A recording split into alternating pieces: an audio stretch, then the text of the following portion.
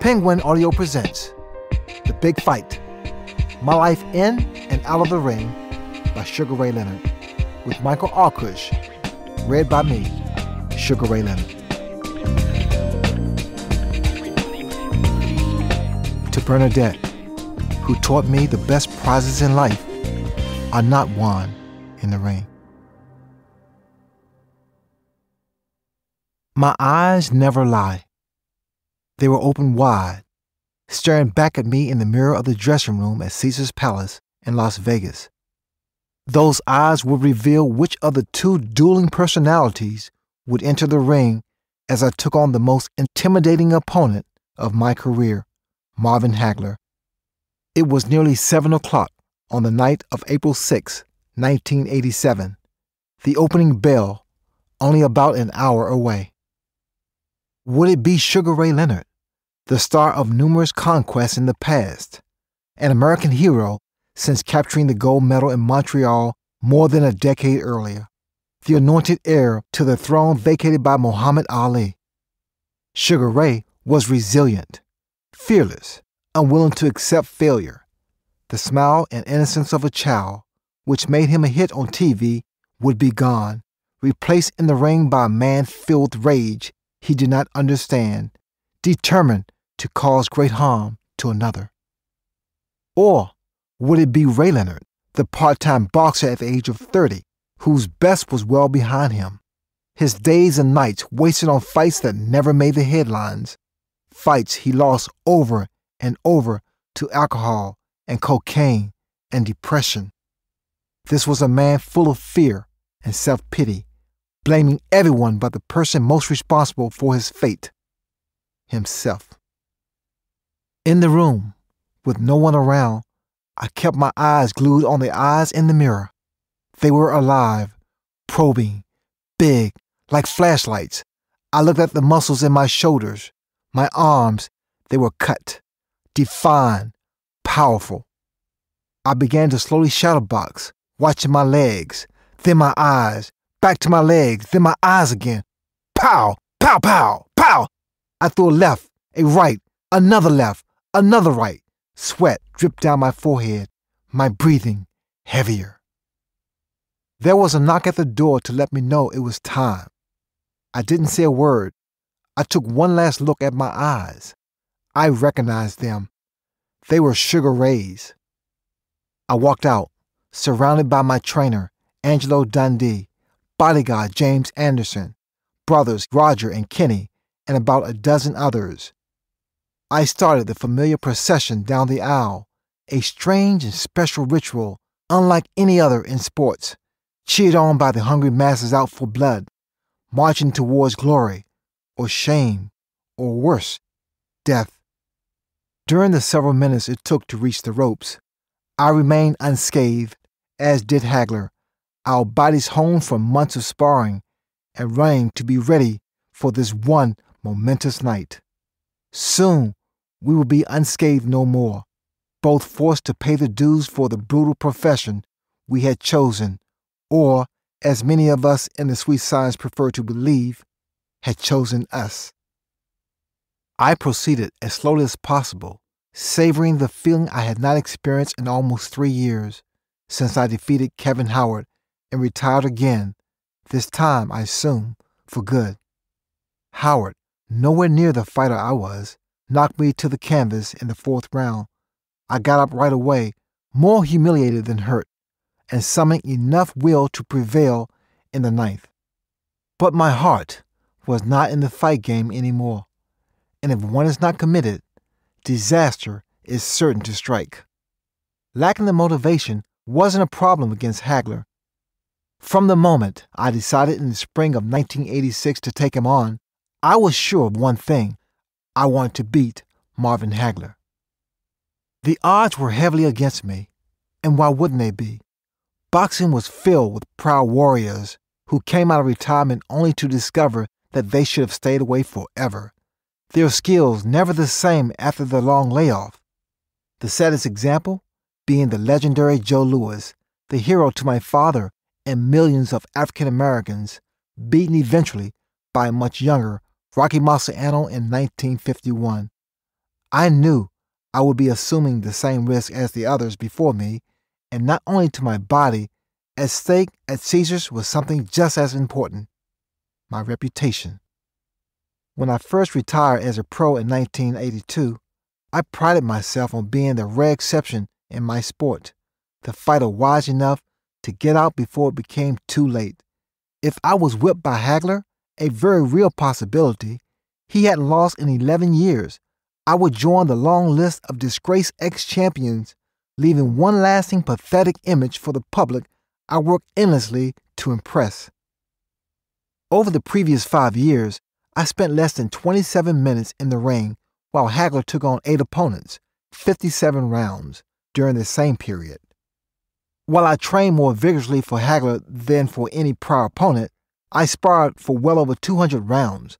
No amount of effort on the speed bag, the heavy bag, jumping rope, and running could compare to an actual fight against a man coming from the opposite corner whose prime objective is to inflict as much damage as is humanly possible. My sparring partners never let up. They had careers they were hoping to build. In training camp at Hilton Head, South Carolina, I felt in control of myself and the surroundings. There was a plan I stuck to every day. On fight night in Las Vegas, I felt in control again, but I didn't know if the plan would work. A fighter never knows till the bell rings. There was also an injury to my left eye, which had led to the initial retirement. The official diagnosis was a partially detached retina, which could have left me, if the doctors did not operate as soon as they did, blinded in that eye for life. The possibility of re injuring the eye was on my mind during the Howard bout and in the months leading up to the encounter with Hagler. What if I thought about the eye again, if for only an instant, during the fight itself? Marvin Hagler was no Kevin Howard. He said if I was foolish enough to take him on, he was foolish enough to rip my eye out. He meant it. Hagler's bravado didn't frighten me, though it did get to my family, who were already alarmed enough to begin with. They never actually came out and shared their concerns for my safety, yet I saw the look in their eyes, just as I saw it among the members of my camp. They were afraid I might get seriously hurt. Nobody was more ferocious during the 1980s than Hagler. In 1981, he gave Mustafa Hamsho such a thorough pounding that he required 55 stitches to plug the cuts in his skin. Perhaps more worried than anyone were members of the Nevada State Athletic Commission, which held jurisdiction over the bout. Not every state gave a license to a fighter with a detached retina. If my eye suffered permanent damage, the commissioners, picked by the governor, would be the ones dealing with the fallout. To protect itself, the commission asked me to take one final exam. I wasn't crazy about the burning sensation caused by the drops the doctors put in my eyes to dilate them, but I agreed. I had come too far over the past 11 months to let the opportunity slip away. I passed the exam. The fight was on. It was just after 8 p.m. As the challenger, I was the first to climb under the ropes. Wearing a short, Elvis style white jacket, I received a warm reception from the fans and enjoyed every second of it. Life after boxing can be rewarding in many ways, but nothing comes close to the sound of applause, and any ex fighter who claims he doesn't miss it is lying. Hagler was next, starting his procession down the aisle, the familiar scowl planted firmly on his face, accompanied by War, the anti Vietnam anthem from the late 60s. What was he thinking? Did this most macho of fighting men have any doubts of his own? Did he worry about a different Hagler showing up on this, the most important night of his career? We all attempt to hide what's most vulnerable about us. Perhaps Hagler's fierceness was related to something equally frightened within the man himself. At first, Hagler wasn't sure about fighting me. After I went public in May 1986 with my decision to challenge him, he took several months to offer his response. What did Hagler need to prove? He owned the middleweight belt and was recognized by the press and fans as the toughest pound for pound fighter on the planet. What else could he possibly gain by beating a has been like me? On the other hand, he could lose everything and perhaps never get a chance to redeem himself. Yet, what Hagler did not own was true stardom, and the only way he could attain it was to expose me, in his view, for the fraud I've always been, the slick, made for TV package who stole the spotlight that should have been his. I did the commercials, I appeared on the talk shows, I made millions while Hagler, for much of his career, risked his life for thousands. These slights, as well as the promise of making at least $10 million, were why, in the summer of 1986, he accepted my challenge. He will put an end to the Sugar Ray Leonard hype machine, once and for all. I came up with a plan as I waited for him. From the time the fight was made official, I had worked on messing with Hagler's psyche, and here was one more chance. I wanted to know which Hagler I would be facing the invincible one or the insecure one. After he entered the ring and received his ovation, every bit as generous as mine, I slowly glided towards his general direction, shuffling my feet and shadowboxing. As I crept closer, I began to think like a choreographer on Broadway, carefully plotting my steps. The two of us were soon only a few feet apart, headed for a certain collision. If Hagler backed off to avoid me, I kept thinking, I would win the fight. If we bumped into each other, I would lose. He was the champion defending his turf, and I was daring to take it away. It went back to the cold in the hood, where the strongest person on the streets stood his ground against any threat. It was a matter of respect. Did Marvin Hagler respect me or not? It then dawned on me he was not going to move.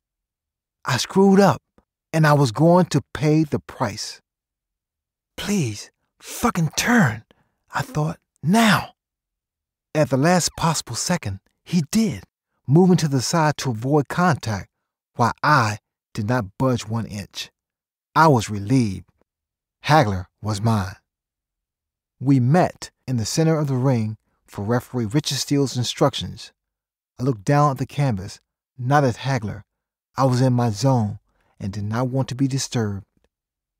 We retreated to our respective corners, soaking up the final words of wisdom from the boxing lifers who had done everything they could to prepare us for this moment, which was only seconds away.